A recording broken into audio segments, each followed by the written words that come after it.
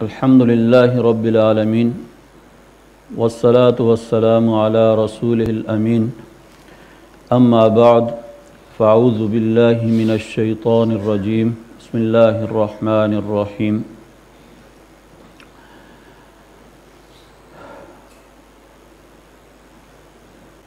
मुआज़्ज़ उलमा किराम मरकज़ तालीम और तहकीक के ज़र अहतमाम ये तीन रोज़ा वर्कशॉप मनद की जा रही है, जिसका उनवान इस्लाम का निज़ाम मालियात, इस्लामी बैंकारी और हलाल फ़ूड है। इस वर्कशॉप में सबसे पहले मैं बिलखसूस उन मेहमानों का शुक्रिया अदा करता हूँ जो मंसूरा सिंध से, मुल्तान से, मफ्ताहुल्लूम शहरगढ़ से इस इकराम और उनके साथ तखसस के जो तलबा हैं, तशरीफ़ लाए हैं तो तवील सफ़र तय किया है, वक्त निकाला है तो बहुत बड़ी क़ुरबानी है ये। तो मैं आपका शुक्रगुज़ार हूँ कि आपने मरकज़ तालीम व तहकीक की हौसला अफजाई भी फरमाई है और इस मौजू की नज़ाकत को समझते हुए आपने उसको अहमियत दी है और ये वक्त की अहम तरीन ज़रूरत भी है। मोहतरम सामीन ये दो मौजूद जिनका इस वर्कशॉप के लिए इंतखब किया गया है। ये वक्त की अहम तरीन ज़रूरत भी है और इसमें कराम को माशरे की रहनमाई करनी है और इसमें कायदाना किरदार अदा करने की भी ज़रूरत है। वैसे तो हर दौर में पेश आमदा मसाइल में कराम लोगों की रहनमाई करते हैं। उनके मसाइल का हल बताते हैं। लेकिन बीसवीं सदी इस लिहाज से जितने भी सबका अदवार हैं, उनसे मुख्तलफ है कि ये सनती इनकलाब के बाद दुनिया के अंदर इस्लाम का जो निज़ाम है, उस हवाले से बेशुमार चैलेंजेस और सवालात इस हवाले से पैदा हुए।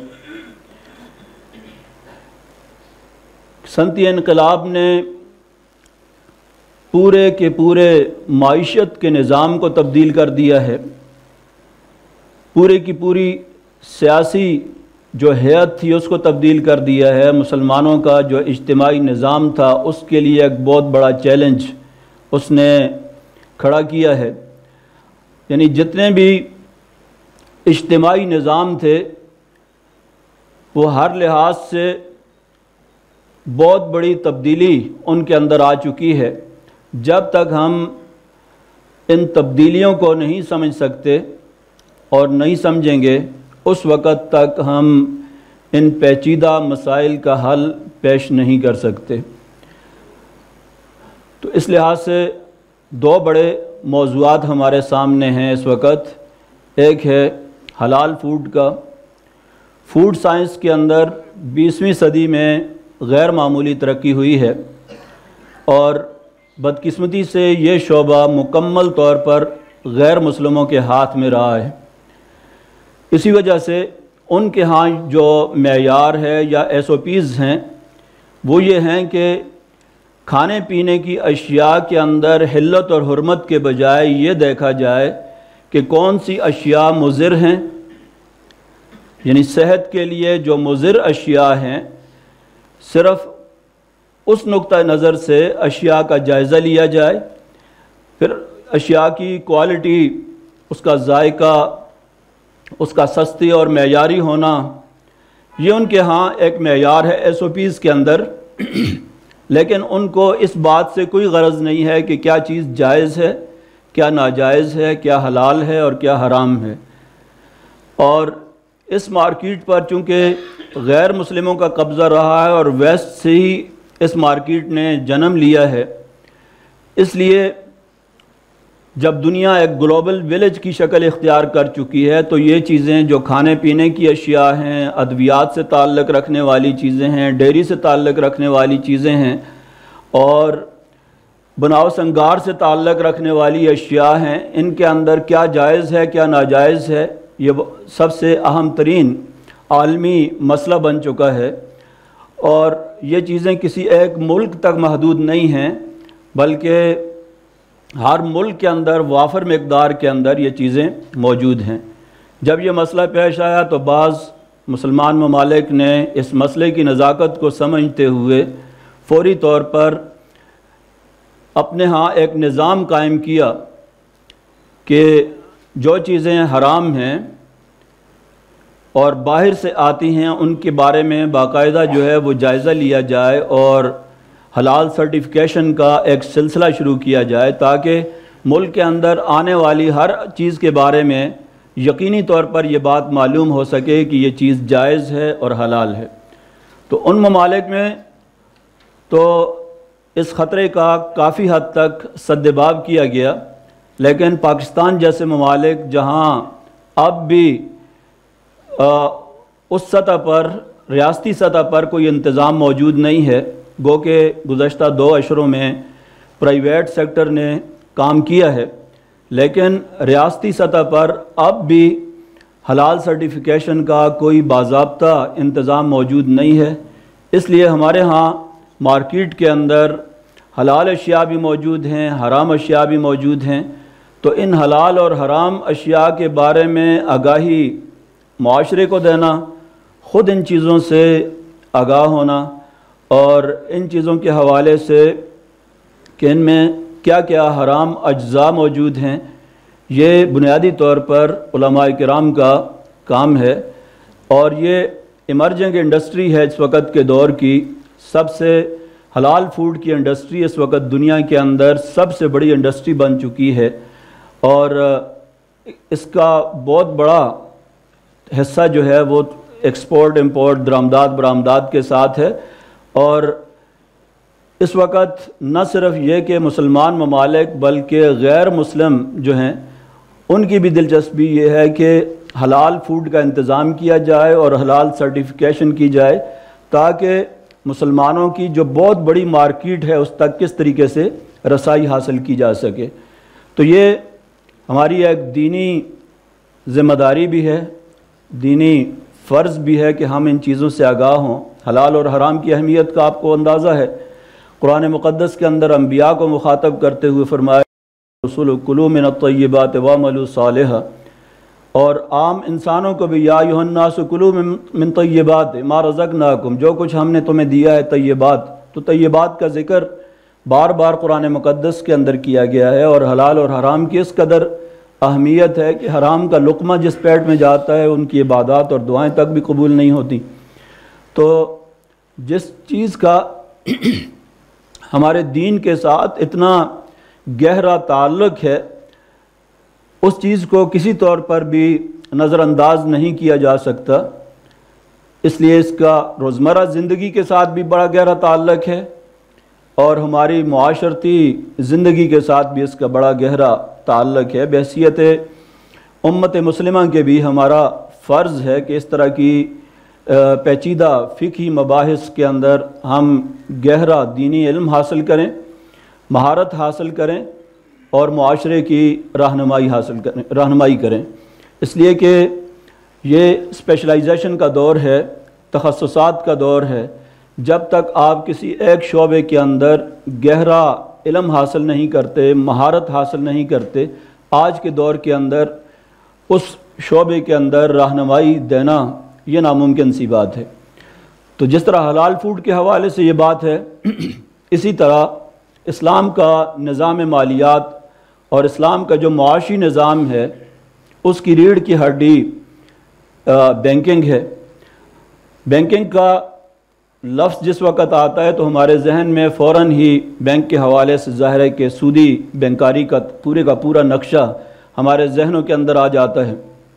लेकिन बैंक अमर वाक़ के तौर पर एक ज़मीनी हकीकत है, जिससे इनकार नहीं किया जा सकता, और जो बहुत सी खदमात सर अंजाम देता है, सिर्फ़ उसके अंदर एक सूदी कारोबार ही नहीं होता, बल्कि कोई आठ, दस बड़ी बड़ी खदमात सर अंजाम देता है, जिसके अंदर लोगों को सरमाकारी से मुतलक कंसल्टेंसी देना, मशावरत फ्राहम करना कि कौन से सेक्टर में सरमाकारी की जा सकती है, मुनाफा बख्श होगी। किस सेक्टर के अंदर मुनाफा बख्श नहीं है, इस हवाले से मुशावरत फ्राहम करना, लोगों की बचतें इकट्ठी करना। मेरे और आपके पास अगर जायद रकम पड़ी होती है तो हम भी बैंक में पहुंचाते हैं कि कहीं डाका न पड़ जाए, चोरी ना हो जाए। इसी तरह लोगों के पास कीमती अमानतें पड़ी होती हैं लॉकर्स के अंदर और अमानत घर के अंदर जो है, जाकर उसको जमा करवाते हैं ताकि महफूज हो जाएँ। अगर किसी ने कारोबार करना है, बैरून मुल्क तो बैंक को वास्ता बनाते हैं सीएल खोलते हैं और उसके ज़रिए अपना पैसा जो है वो बाहर भिजवाते हैं और वहाँ से कारोबार करते हैं। इसी तरीके से किसी ने अपने कारोबार के सिलसिले में आ, बड़े बड़े सनतकार और आ, जो कारोबारी लोग हैं जब वो कारोबार करते हैं तो बैंक के ज़रिए गारंटी लेते हैं इसलिए कि यहाँ एक बैठा हुआ शख्स जब कनाडा में या अमेरिका में किसी के साथ कारोबार करता है तो दोनों एक दूसरे को नहीं जानते। ना दूसरे, एक दूसरे की माली हैसियत का पता होता है। तो बैंक उनको गारंटी देता है और इस तरीके से अतमाद की फ़िज़ा बहाल होती है और दुनिया के अंदर ये कारोबार चल रहा है। तो बैंक बेशुमार इस तरह की दूसरी खदमात जो हैं वो भी सर अंजाम देता है। यहाँ तक कि बैरून मुल्क किसी की जायदाद है, उसकी सुपरविजन, उसकी वकालत और उसकी देखभाल का इंतज़ाम जो है वो एक मखसूस फ़ीस के ज़रिए बैंकों से करवाया जाता है। तो ये आज के दौर की बेशुमार ज़रूरियात हैं जो बैंक सर अंजाम देता है। उनमें से बड़ा हिस्सा या बड़ा फ़ंक्शन जो है वो बैंक का ये है कि कर्ज़ों की तजारत जिसको कहा जाता है कि आपसे कर्ज़ लिया इधर से, दूसरे को आगे कर्ज़ दे दिया सूद पर। अब ये वो हिस्सा है जो सूद पर कर्ज़ों की तजारत है, ये सबसे बड़ा बैंक का फ़ंक्शन भी है और उसका, यानी मकासद में से उसके तक क़्याम के जो मकासद हैं, उनमें से एक बड़ा मकसद है। तो ये सबसे अहम तरीन मौजू है हमारा, जो इस पूरी वर्कशॉप के अंदर हम जो है वो तफसील के साथ इन आपके सामने ज़िक्र करेंगे। तो इस्लामी बैंकिंग के हवाले से कोई ये एक दो दिन का काम नहीं है, बल्कि गुज्त अस्सी नबे साल से एक पूरे पूरी तारीख़ है उसकी, जो इसकी इस्लामिक बैंकिंग की इरतका की तारीख़ है। और 1960 की दिहाई के अंदर, मिस्र के अंदर इस्लामी बैंक का क़्याम होता है, प्राइवेट सेक्टर के अंदर। 1970 के अंदर जाकर मिस्र में रियासती सतह पर जो है वो इस्लामी बैंक का आगाज़ होता है। तो इस तरीके से 1970 के बारे में कहा जाता है कि इस्लामी दुनिया के अंदर इस्लामिक बैंकिंग के लिए ये वो दौर है जो कि इस्लामी बैंकिंग का जिस हर मुल्क के अंदर ज़ोर शोर से आगाज़ हुआ और यहाँ तक कि उन्नीस सौ बानवे में, पचानवे, पचपन इस्लामी बैंक जो है वो वजूद में आ गए थे और चौंतीस इस्लामी मालियाती इदारे जो है वो मुख्तलिफ़ जगहों में काम कर रहे थे और दो मुख्तलिफ़ मालियाती जो कंपनियाँ हैं वो गैर सूदी काम करना शुरू कर चुकी थी। तो इस लिहाज से उन्नीस सौ बानवे तक का अरसा जो है ये इस्लामी दुनिया के अंदर इस्लामी बैंकारी के हवाले से जो पिछले तीस चालीस साल से तजर्बात हो रहे थे उसको अमली तौर पर इख्तियार करने का एक बहुत ही अहम दौर है। फिर 1980 की दिहाई के अंदर जाकर जो है वो मुख्तलिफ़ बैंक और बने। बैंक दुबई, अलइस्लामी है, अलबरका है, बाकी जो मुख्तलिफ़ बैंक हैं, दुबई, कतर अल कवैत और बहरीन के अंदर ख़ास तौर पर जो है इस्लामी बैंकों के हवाले से काफ़ी काम हुआ इस अरसे के अंदर। लेकिन इस वक्त तक पाकिस्तान के अंदर उन्नीस सौ बानवे तक कोई भी इस्लामी बैंक नहीं था। अलबत् अलबरका की एक दो ब्रांचेस जो हैं, वो काम कर रही थी।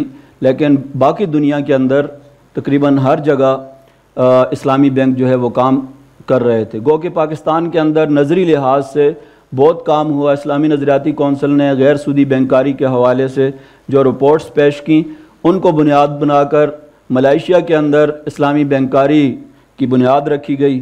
बांग्लादेश में और बाकी जगहों के अंदर उनसे इस्तेफ़ादा किया गया। लेकिन अमली तौर पर हम दूसरे ममालिक के मुकाबले में इस हवाले से काफ़ी पीछे रहे हैं। तो इस वर्कशॉप के अंदर आपके सामने इस्लामी बैंकिंग के हवाले से, जो कि अब एक ज़मीनी हकीकत बन चुकी है, और जिसके बारे में दो मुख्तलफ़ नुक़ नज़र मौजूद हैं, और एक नुक़ नज़र अतदाल पर भी मबनी है। एक नुक़ नज़र ये है कि जो कुछ बैंकों के अंदर हो रहा है, सब कुछ ठीक है। खब वो रिवायती बैंक हैं या दूसरे बैंक हैं, सब कुछ ठीक है। एक नुक़ नज़र ये है, ज़ाहिर है कि ये नुक़ नज़र भी बिल्कुल गलत है। और इसकी तायद करने वाले अहल इलम में से अल्लामा रशीद रज़ा साहब और उनके डॉक्टर फजलरहमान और इस तबके के जो लोग हैं, मौलाना जाफ़र फुलवारी, जिन्होंने सूदी बैंकिंग को और सूदी पूरी निज़ाम को एक शरी नुक़ नज़र से दलाइल फ़राहम किए थे, जिनकी बुनियाद जो है अलामा रशीद रज़ा साहब के दलाइल पर है। तो आगे जिन लोगों ने इसको मुकम्मल तौर पर जिसकी तायद की, एक नुक़ नज़र ये रहा है। दूसरा नुक़ नज़र आइडियलिज़म का है, मिसालियत पसंदी का है कि इस्लामी बैंकिंग मुमकिन ही नहीं है। मौजूदा जो निज़ाम है, इसके अंदर इस्लामी बैंकिंग मुमकिन मुमकिन नहीं है। और बैंक चूँकि ये तो एक जदीद तस्वर है, सोलहवीं सदी के अंदर आया है। इटली ने, इटली में सबसे पहला बैंक कायम हुआ था। और ये जो नया तस्वर जदीद तस्वर बैंकिंग का है ये वहाँ से शुरू होता है। और आ, इसकी बुनियाद जो है मगरब का जो सरमायादाराना निज़ाम है उस पर रखी गई है जो कि सरासर सूद केमार और गरर तीन बुनियादी चीज़ें हैं जो शरीयत से मुतसादम हैं इनके साथ टकराती है। तो ये तबका ये कहता है कि यहूदी जहनीत है और जिस तरह जुए को इस्लामी जुआ नहीं कहा जा सकता और शराब को इस्लामी शराब नहीं कहा सकता, बैंक को इस्लामी बैंक नहीं करार दिया जा सकता, ये दूसरी इंतहा है। ये दोनों नुक़ नज़र अपनी दलाइल के लिहाज से भी इनको कोई कबूलियत हासिल नहीं है और ना ही इस्लामी दुनिया के अंदर इनको कोई ज़्यादा पजीराई हासिल है। तीसरा नुक़ नज़र, जो मतदिल नुक़ नज़र है, वो ये है कि इस्लामिक बैंकिंग के अंदर जो तजर्बात अब तक हुए हैं गो के मुख्तलिफ़ किस्म के अबूरी दौर से गुज़र रहे हैं और उसके मुख्तलिफ़ मराहल हैं, मुख्तलिफ़ फ़ेज़ हैं। पहले फ़ेज़ के अंदर ये कुछ ख़राबियाँ थीं दूसरे फ़ेज़ के अंदर उन ख़राबियों को कम किया गया, उनका तदारक किया गया। तीसरे फ़ेज़ के अंदर मज़ीद कुछ ख़राबियों का तदारक किया गया और असलाह की गई और अब बहुत हद तक जो है वो उसके लिए शरिया स्टैंडर्ड्स बन चुके हैं। शरिया स्टैंडर्ड्स एस ओ पीज़ उसके बाकायदा बन चुके हैं। और पूरी दुनिया के अंदर एक सेंट्रल बॉडी मौजूद है, जो कि उनके लिए मायर शरिया, जिसने जिसने तरतीब दिए हैं, जो पचास से जायद अब तक तैयार हो चुके हैं। और अब तक उनमें से कोई सात, आठ के करीब ही बैंकों के अंदर जो है, वो किसी हद तक उनका चलन है, जिनमें इजारा है मुराबा है इस्तना है इस्तना है, सलम है। ये जो चीज़ें हैं इनमें से मुजारबा और मुशारका इन चीज़ों पर इस्तना के हवाले से इन आपको इस वर्कशॉप के अंदर जो है वो तफसील के साथ बताया भी जाएगा। इनमें काबिल असलाह अमूर क्या हैं, उनकी भी निशानदेही की जाएगी और जो तजर्बात अब तक हुए हैं और इसमें अमला जो पेशकदमी हुई है पेश रफ्त हुई है, कामयाबी हुई है, उसका भी आपके सामने जो है वो तफसील के साथ ज़िक्र किया जाएगा कि इस्लामिक बैंकिंग के अंदर। इसलिए कि कराम को अक्सर लोग जो हैं आज ये मसाइल पूछते हैं तहारत के मसाइल भी अगर उनके सामने आते हैं तो बहुत कम आपके सामने ये मसला आएगा कि किसी कुएँ के अंदर जो है वो अगर चूहा गिर जाए तो कितने डोल निकालने हैं। अब आपसे ये मसला पूछते हैं कि अगर एक आदमी खला के अंदर जाता है और वहाँ वो अपने साथ पानी लेकर जाता है तो उस पानी को आ, पानी की कमी हो जाती है तो उस पेशाब को उसकी का इस्तेहाला करने के बाद, उसकी माहियत तब्दील करने के बाद, उसको पीने के काबिल बना लिया जाता है। तो आया उस पानी के साथ जो है दोबारा वज़ू किया जा सकता है या नहीं किया जा सकता है? तो इस तरह के तहारत के भी पेचीदा और जदीद तरीन जो मसाइल हैं, वो इस तरह के आज आपको पेश आते हैं और इस तरह के मसाइल जो हैं, वो लोग पूछते हैं कि हलाल फ़ूड के हवाले से भी इस तरह की बेशुमार चीज़ें जो मार्केट के अंदर पड़ी हुई हैं क्या चीज़ उसमें हलाल है, क्या चीज़ हराम है, उसके जो इंग्रेडिएंट्स हैं, अज्जा हैं, उनके बारे में कम व बेश ज़्यादा चीज़ों के बारे में हमें इलम कम अज़ कम होना चाहिए। एक है उमूमी शूर एक है स्पेशलाइजेशन उमूमी शूर जो है वो तो दारफ्ता से वाबस्ता चूँकि आप सभी तखस के तलबा हैं। तो सबको ही होना चाहिए। अलबत् कुछ लोगों को ज़रूर इसके अंदर स्पेशलाइजेशन की तरफ़ जाना चाहिए। इसलिए कि इसके अंदर जब तक महारत ना हासिल की जाए, इसकी जो टेक्निकल और फ़नी चीज़ें हैं, उनसे आगाही ना हासिल की जाए, उस वक़्त तक सरसरी इलम जो है, इस मैदान के अंदर नाकाफ़ी है। तो ये दोनों चीज़ों के अंदर कुछ चीज़ें ऐसी हैं जो कि टेक्निकल चीज़ें हैं, कुछ चीज़ें ऐसी हैं जो अमूमी नोयत की होंगी। तो ज़ाहिर है कुछ चीज़ों के बारे में सिर्फ़ आप लोगों को आगाही देना है ताकि आप मज़ीद जाकर उसके बारे में मुताल कर सकें। तीन दिन में ना हलाल फ़ूड के हवाले से हर हर चीज़ के बारे में आपको इलम हो सकता है कि आप उसके एक्सपर्ट बन जाएँ, माहिर बन जाएँ और ना ही इस्लामी बैंकारी कि आप तीन दिन के अंदर एक्सपर्ट बन सकते हैं। असल मकसद इन चीज़ों की अहमियत उजागर करना है और ये बताना है कि आज के दौर के अंदर किस किस्म के पेचीदा मसाइल फ़िकी मसाइल जो हैं, हमें दरपेश हैं और इनकी निशानदेही करके इनका हल कैसे तलाश किया जा सकता है। ये बुनियादी मकसद इस वर्कशॉप का इन उम्मीद है कि आप हजरात जो हैं, इससे भरपूर भरपूर इस्तेफ़ादा करेंगे और इसके बाद यहीं तक मामला महदूद नहीं होगा, बल्कि इसको अपना मुस्तकिल तखस का मौजू भी बनाएँगे और आइंदा अली तहकीक के अंदर, तालीम के अंदर जो है, वो इसको आप अमला बरतने में और माशरे की रहनमाई करने के अंदर भी आपके लिए मुमद और मुआवन साबित होगी। वाखिर दावाना अलहमदिल्ला रबालमीन